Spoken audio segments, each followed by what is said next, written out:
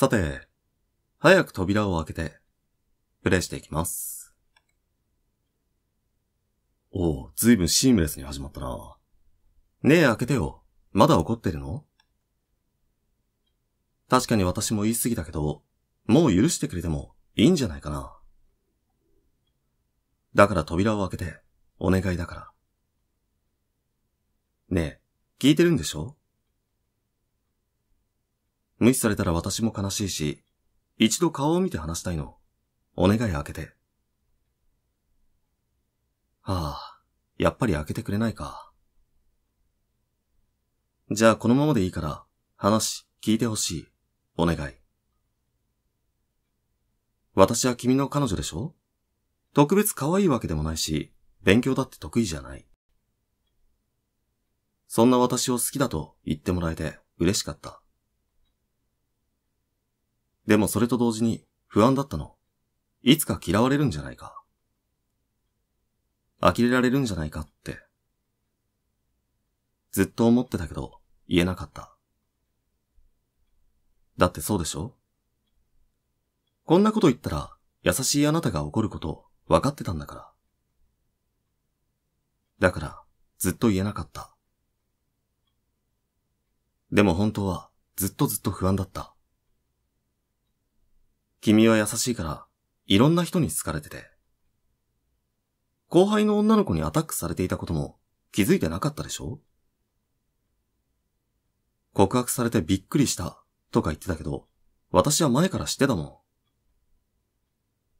後輩の女の子がずっと君に熱い視線を送っていたこと。でも知らないふりするしかないじゃん。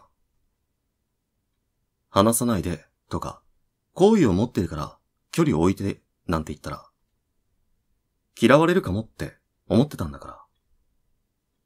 もう我慢の限界だった。君が元カノさんと出かけたって知って、ああ、なるほど。確かにこれは喧嘩になるかもな。ああ、やっぱり私じゃダメなのかなって考えちゃった。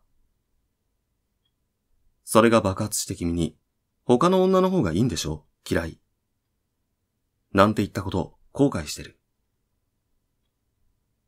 優しい君には何か理由があって、それを話してくれようとしてたんだよね。なのに別れ話かもって怖くなって逃げるとか、最低だよね。だからもう一度私にチャンスが欲しい。私次はもっと頑張る。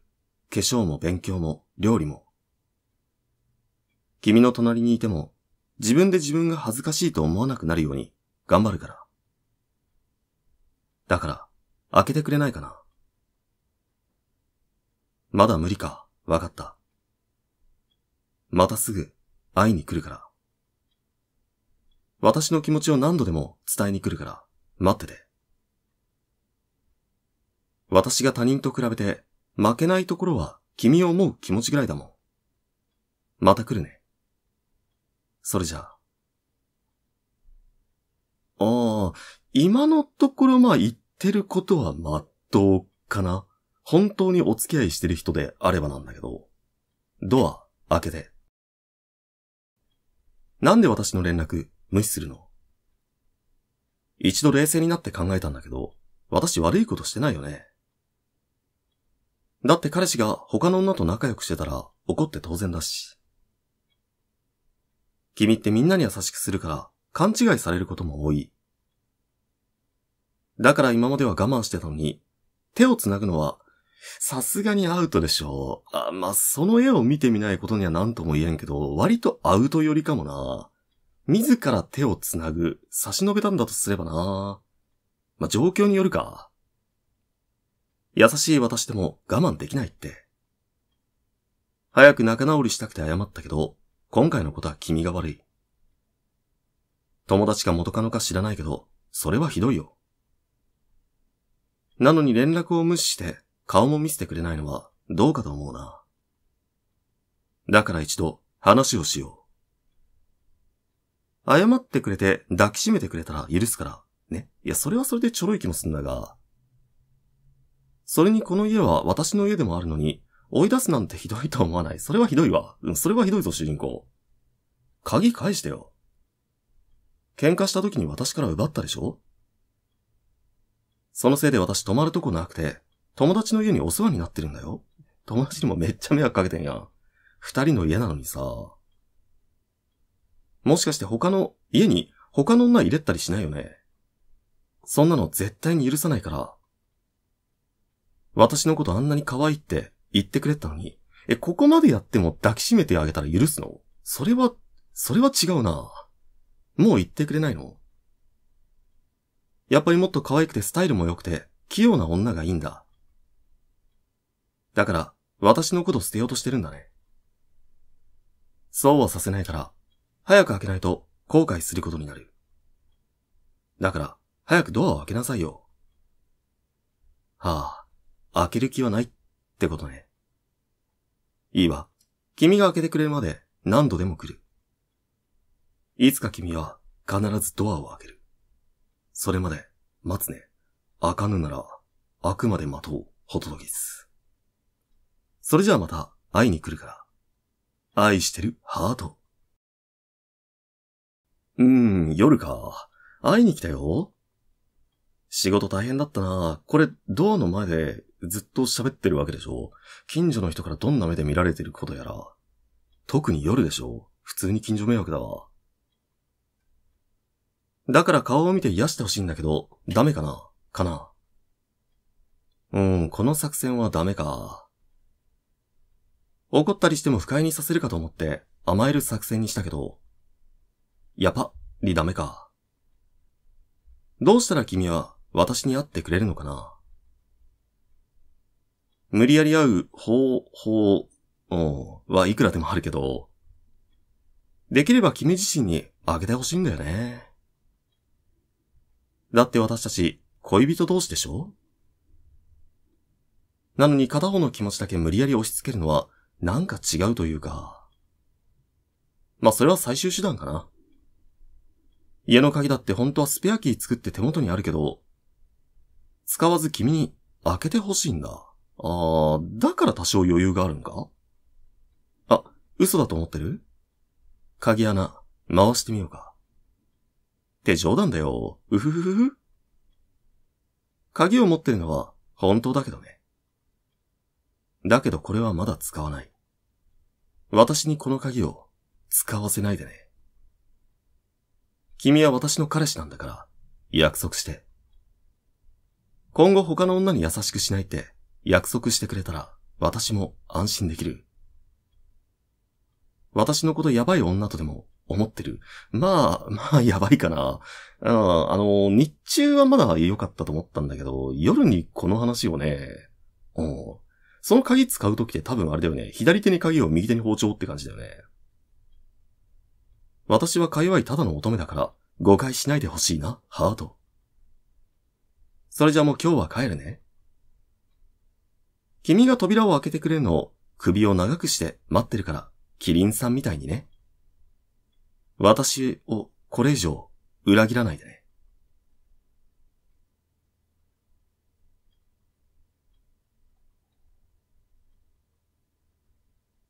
え、嘘もしかして夜中中いた？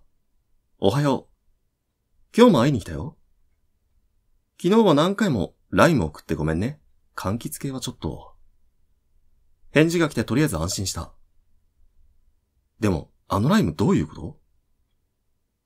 家に来るなって書いてあったんだけど、そんなに私に会いたくないってこと？確かに何回も電話したりで嫌になったかもしれないけど、ちゃんと話し合いたい。もし別れたいとか嫌いになったとかなら直接言ってほしいから。顔も見れずにバイバイなんて嫌だ。風邪ひいてたの？今会社の人から LINE で連絡もらったんだけど、なんだ、そういうことか。風邪ひいて移したくないから家に来るなってことね。相変わらず優しいな、君は。でも大丈夫。私がめちゃくちゃ健康体なこと知ってるでしょ？前だって君が風邪ひいた時に3日間看病したけど、私なんともなかったし。だから、今回も大丈夫だよ、きっと。え？私嫌われたんだと思ってたけど、そんなことなかったんだね。今も私を心配して、ライムで帰れなんて優しい。あれこれ都合のいいように解釈しておるのでは。やっぱり、君を好きになってよかった。前風邪ひいた時はめちゃくちゃ甘えてきてて可愛かったな。眠い時とか弱ってる時すごく甘えてくるもんね、君は。ライム返信ない時は別れを覚悟してたけど、君は相変わらず私を愛してくれてた。私も君を愛してるよ。え？なんだか恥ずかしくなってきちゃった。あ、もうこんな時間。私会社に行かなくちゃだから、後で飲み物とか買ってくる。それまで安静にしててね。その時はドアを開けてくれると嬉しいな。じゃあ行ってきます。風邪ひいた時は、スポーツドリンクにおかゆにリンゴ。忙しい中会いに来たから開けてよ。私、仕事早退してきたの。だって君が心配だったから当たり前でしょ昨日ライムの返信来て一年前のことを思い出した。一年前、仕事の都合で私が転勤しちゃってすごく寂しくて。でもたまに来るライムが嬉しくて。私も早くお金貯めて君がいる街に戻ろうってそう思ってた。だって、この街には君との思い出がたくさん詰まってる。君の好きなお店やお気に入りの洋服屋さん。それから私と君が出会った場所。たくさんの思い出があって私は大切にしていたのに。どうして他の女なんかと一緒に私の思い出の場所に行ったの？帰ってきてやっと一緒に過ごせるようになったのに。知らない女と手を繋いで楽しそうにして。その子が特別じゃない、ただの友達だって分かっていても、嫉妬が止められない。あ、ごめん。体調悪い時にこんな話して。まだ元気になったら改めて話そう。今日も開けてくれないみたいだから、差し入れ置いておくね。それじゃあ、ゆっくり休んで、ゆっくり休んでいってね。これってあれか？一日のうちにこう朝昼晩ではないのか？今日も開けてくれないっつってたけど、体調は大丈夫？あまり無理しない方がいいんじゃない？さすがに心配だなでも君は本当にたくさんの女性に好かれているんだね。これってさ、もしかしてさ、毎回違う人来てる？何またかけてんの主人公。いや、考えすぎかな。玄関前に差し入れがい、やっぱそっか、マジか。やばいな、主人公な。君が周りに優しくするから、周りも優しさを返してくれる。でもいらないな、その優しさ。最初はそれでもよかったけど、やっぱり、あ、こ、いや、この女性はやっぱり族だぞ。私にだけ優しくしてほしい。君のことは私、私だけが知っていればいいし。君に優しくされるのは私だけでありたい。こんな単純なことに気づくまでだいぶ時間がかかってしまった。そのせいで、お互い傷つくことになって、ごめんね。そうだ、最初から君しかいらなかったの。だからこんな差し入れをする奴も、君と手を繋いで幸せそうにしてる奴も、全員消そう。二桁人ぐらい言ってんじゃないですか。うん、それがいい。そうしよう、ハート。そうと決まれば、私、ええー、今何時だろうね？あれかい、あの、やっぱ包丁とかチェーンソーとかなぎなたとか買いに行くんですかね？大丈夫。明日もちゃんと、はい、犯行予告ですかね？私の愛おしい彼氏さんにハート。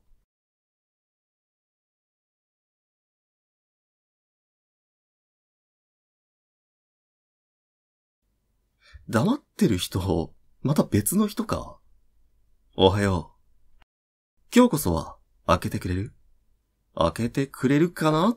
いいとも。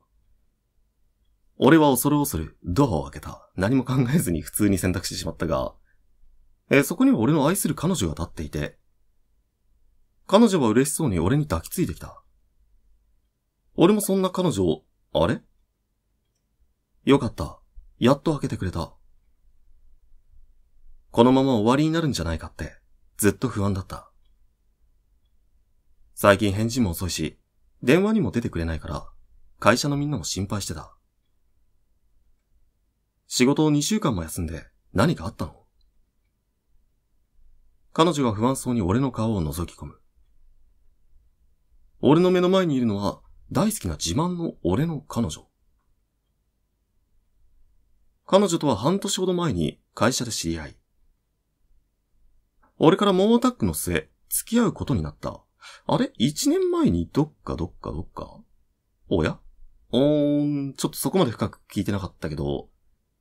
なるほど。やっぱ複数にいるのは確定か、これ。彼女は自分に自信がないようだが、とても可愛い自慢の彼女だ。彼女の遠慮がちな、そんな性格も俺は大好きだった。そんな俺がなぜ彼女と距離を置いていたかというと、実は俺、最近変な女に付きわ、付きまとわれてて、最初は気にしてなかったんだけど、どんどんエスカレートしてきたんだ。最近では俺がどこで何をしてた？とか、友達のこととかも調べられてさ、お前に危害を加えるんじゃないかって心配になった。その女の LINE を無視したり、ブロックしても別のアカウントや SNS を使って連絡を入れてくる。家の中での電話とかもなぜか知られって、電話も LINE も返せなかった。ごめん。君は悪くないじゃん。謝らないで。え、これ俺くんの話を信じるんだとすれば、いや、それはやばいわ。ごめんな、もしかして二股とか三股とか、120股とか、そんなんじゃなか。そんな状態とは知らずに、怒って嫌いなんて言ってごめんなさい。じゃあ君がこの前会っていた元カノさんが、その嫌がらせをしてるのは、あ、元カノの話は、この人からなのか？元カノ？ああ、喧嘩になった原因の元カノか。元カノからは復縁したいって言われて、ライムが来てた。でも俺には新しい彼女がいるからって断ってたんだ。そしたら先月、この町に引っ越してきたって連絡が来て。最後どうしても会いたいから会いたい。会ったら諦めると言われてしょうがなく、そして手を繋いだんですね。でも話しただけで、1ミリも触れてないから信じてくれ。だけどそれを先に相談しなかった俺が悪かった。ごめんな。本当に手は繋いでないんですか？そうだったんだ。大丈夫。君のこと信じてるから、疑ってなんかないよ。そう言って彼女は優しく微笑んでくれた。ああ、俺の大好きな彼女だ。俺は彼女のこの屈託のない笑顔に一目惚れしたんだ。俺は彼女を心から愛している。ストーカー女に扉覗き穴潰されて外見れなくて。声だけで判断するには怖かったから開けられなかったんだ。お前からの差し入れもまだ受け取れてない。ごめんな。まあ、仮病だったわけだけど。夜来る女は明らかに頭おかしいから開けないようにしたんだけど、夜来る人のあ、いやまあ、なんかね、夜の人はめちゃくちゃテンションが高かったイメージは確かにあるか。いや、そこまで気にして見てねえな。でも、前日の、なんか準備しなきゃとか言ってたのは確かにやばかったな。あと無言の人。お前朝も昼も来るとか、どんだけ俺のこと好きなんだよ。笑。ちょっと腹立つな。俺が少し茶化すようにそう言うと、彼女は首をかしげ、きょとんとした表情になる。私が来たのは、仕事に行く前の朝の時間だけだよ。だってお昼休憩で来るには遠すぎるし、一日に何回も来るなんて迷惑でしょ？あら、まっとうなこと言ってる。だから昼も夜も私はここに来てないけど、なるほど、まっとうなことを言ってたのはこの人か。そう言われた瞬間、俺は背中に伝う大量の汗に気づいた。言われてみればそうだ。彼女が昼に俺の家に来るためには仕事を休まなければいけないが、真面目な彼女がそう何日も休んで家に来るわけない。それに昼間の女は一緒に住んでたとか、合鍵、い、どうのとか言っていた。俺は今の彼女とは同棲してないし、鍵だって渡してない。ああ、お、それが、も、元カノか？ごめん、鍵奪って最低とか言ってごめん、俺くん。少し考えればわかることだったのに。家から出れないストレス、ストーカー女の存在で思考が鈍っていたようだ。俺は彼女を押しのけるようにしてドアを急ぐ。あ、なるほど。じゃああれか。手を繋いでいたっていうのは今カノの話。で、元カノに手繋いでたって言われてたのか。早く、早く鍵を閉めないと。昼の女が来る前に。早く、早く。やっぱり浮気してたんだ。あ、なるほど。昼の人はヤパリ族なんだね。ヤパリ族は夜の人だ。私は信じてたのに、ひどい。もう信じるのも疲れたから、二人とも消えていいよ。ゴン、という鈍い音が玄関先に鳴り響く。俺の頭が何者かによって殴られたと理解できたのは数秒後だった。やっぱゴンだから強化系なんだろうな。女はズカズカと家の中に入り、彼女に覆いかぶさる。彼女はそんな状態でも、俺を心配して名前を呼び必死にもがく。ああ、マジで腹立つわ。さっさと消えろよ、ほら。彼女の元に行きたいのに、俺の体は動いてくれない。やめろ、やめてくれ。彼女だけは、お願いだから。薄れゆく意識の中、最後に聞こえたのは、狂ったように笑う女の声だった。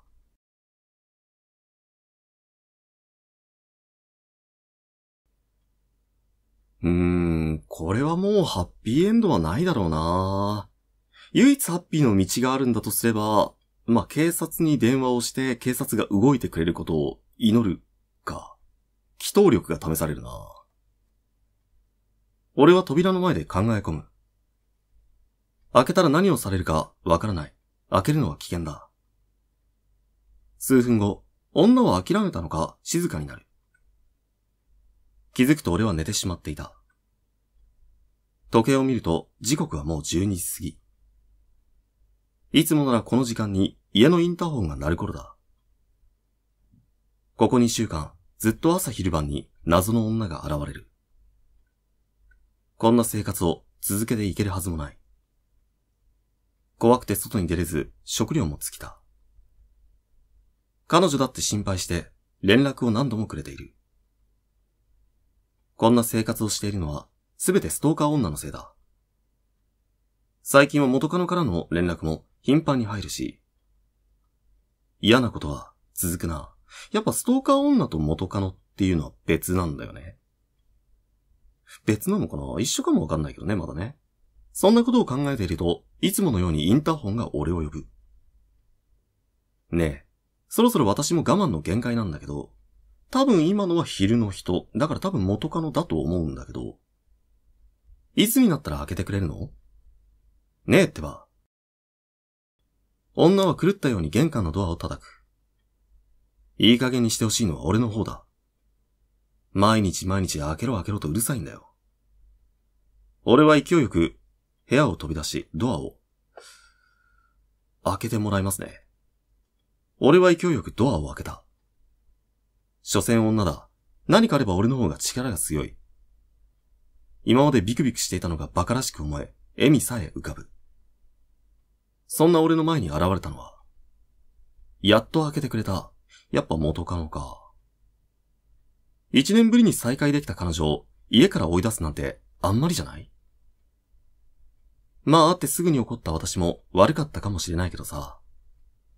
このテンションなんか夜の人と同じ感じするなそこには一年前に別れたはずの元カノがいた。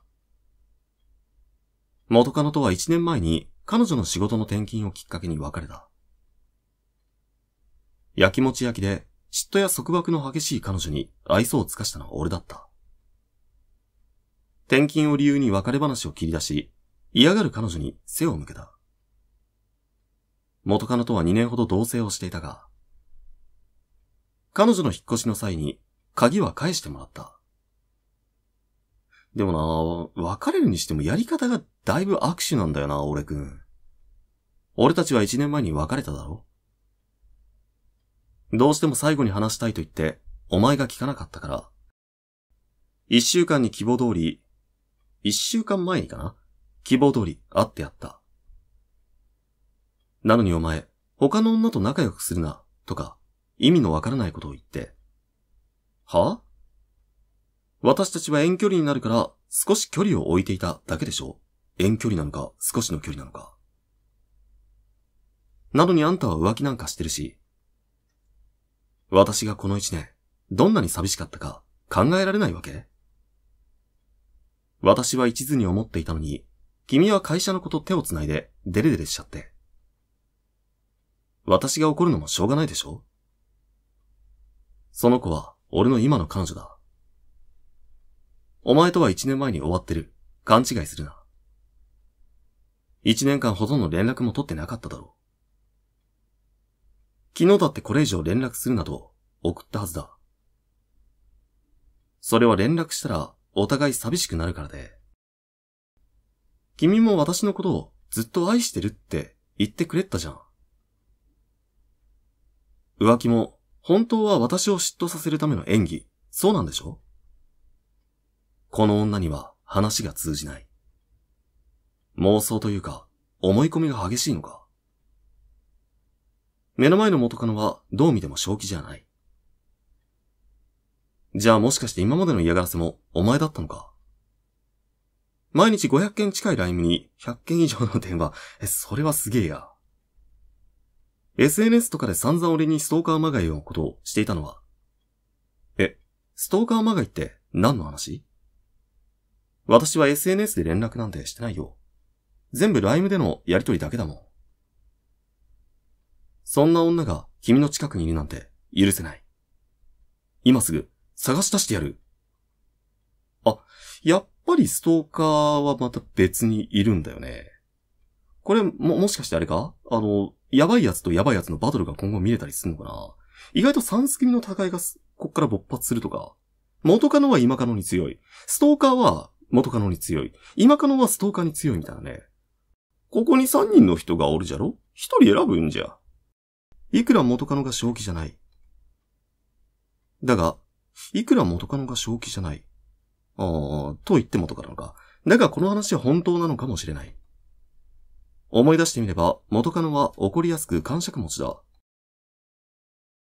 そんな彼女がこそこそと情報を集められるはずがなかったんだ。なら誰だ？一体誰が俺を？そんなことを考えていると、元カノが俺の肩に寄りかかる。やめろ。もうお前と俺は終わったんだ。彼女が心配するようなことは、そう言って元カノの肩を掴んで、あることに気づく。何か、濡れている。今日は雨なんか降っていないはずなのに。そう思い、元カノに目を向けると。うわぁこれって、まさか？そんな大声出しちゃダメだよ、ハート。ただ血がついただけなんだからさ。あ、もしかして汚い女の血がついたからびっくりしちゃったの？大丈夫。私が後で綺麗綺麗してあげるからね、ハート。目の前には悲惨な光景が広がっていた。背中から大量の血を流し、動かなくなった元カノ。その後ろで楽しそうに笑う刃物を持った女。その女は、高骨とした表情で俺のことを見つめていた。え、元カノ声も出さずに悲鳴も上げずに刺されたっていうことこちらのことを心配させないために。まるで少女漫画のヒロインかのように頬を染めてこう言った。やっと会えたね。スペアの鍵、使わなくてよかった。私は君に開けて欲しかったから、ハート。本屋さんで10円貸してくれて、ありがとう。その時からずっと好きでした。付き合ってください。女は目の前の惨状を全く気にせず、そう言い放つ。彼女の目には赤いバラが咲き起こる庭園にでも見えているのだろうか。つ、付き合うわけないだろう。ええ、いや、ずいぶん、肝が座ってんね。お前頭おかしいんじゃないのか？今自分が何したのか分かってないのか？人を殺したんだぞ。やっぱり手作りお菓子の方が良かった？私料理苦手だから悩んだんだけどね。友達の萌ちゃんが気持ちがこもっていれば何でも大丈夫だって言ってくれて。だから得意なことでアピールしようと思ったんだけど、失敗か。まあ、気持ちがこもっていればっていうのはわからんでもないんだけど、その気持ちが殺意に寄りすぎなんだよな。あ、でも大丈夫。メインはこっちだから、きっと気に入ってもらえるはず。ハート。そう言って彼女はカバンをゴソゴソと漁る。待ってくれ。頭の整理が追いつかない。とりあえず今までの迷惑行為は、こいつが犯人なんだろう。今のうちに逃げないと。ストーカー女の隙を見て、どうにか。じゃじゃーん。君の彼女の頭でーす。ハート。これなら気に入ってくれるかな俺の目の前に生首が置かれる。それは紛れもない。俺の彼女の首だった。嘘だ嘘だ嘘だ。こんなの偽物に決まってるはず。本物のはずが、本物のはずが。目の前に置かれた頭をそっと抱きしめる。それはまだ暖かく、彼女がさっきまで生きていたことを教えてくれた。そんなの嘘だ。嫌だ、信じたくない。嫌だ、嫌だ、嫌だ。俺はそこで意識を手放す。愛してるよ。これからは、ずーっと、一緒だね、ハート。ナイス、ボート。これはもうどうあがいても罪だよな順番的に次に出てくんのは、まあストーカーだよな、九段の。もうその時には手土産って用意されてるんでしょ？俺は玄関に向かう途中に一度冷静になって考える。扉の向こうの女はどう考えても正気じゃない。こんな状態で扉を開けたらどうなる？いくら男の方が力が強いと言っても、武器を持っている女に丸腰で勝てるのか？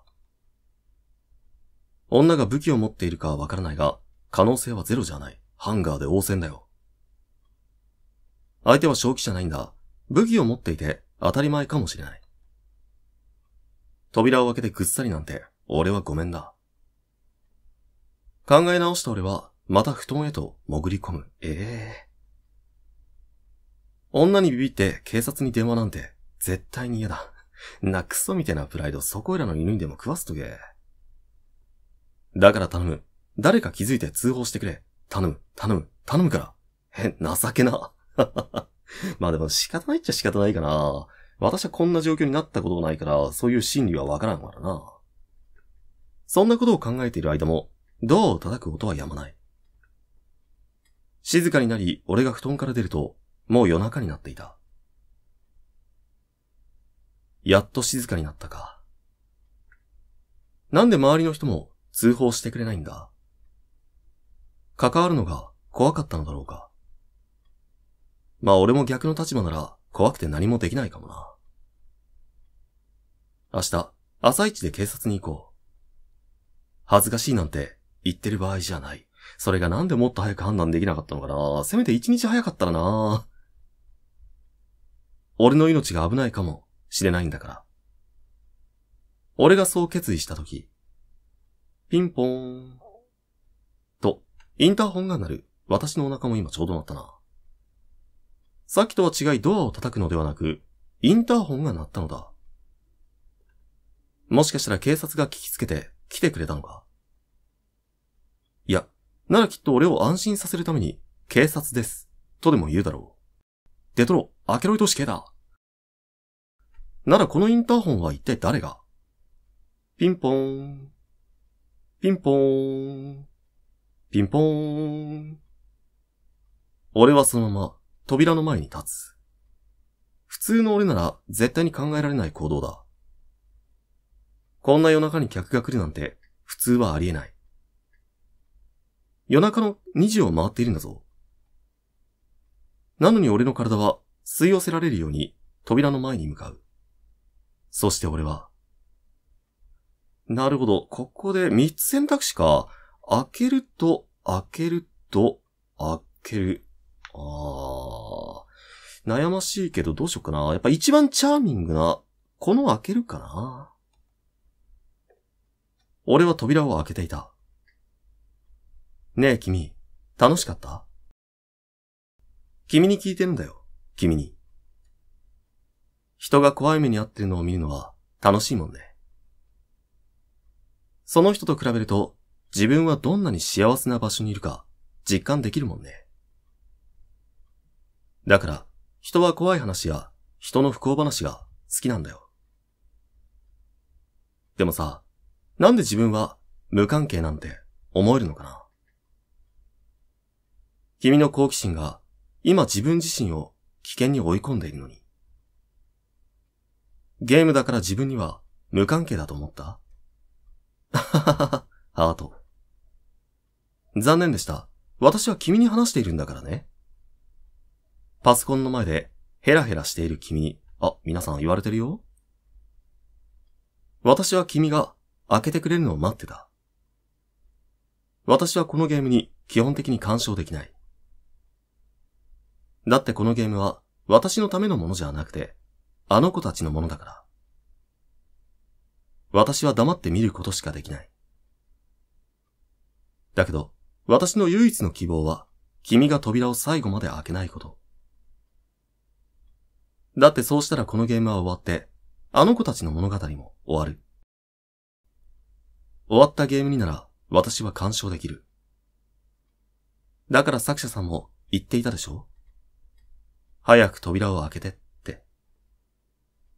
でも、君は開けなかった。これで私はこの画面から出られる。君が私を出してくれた。なら俺、しなくちゃだよね。今日、夜、君に会いに行く。今度は画面越しじゃなくて、ちゃんと、現実で。ちゃんと、開けてね。まあ、開けてくれなくても。うふふふふ、ハート。それじゃ、また後で。あ、皆さん今晩気をつけてね。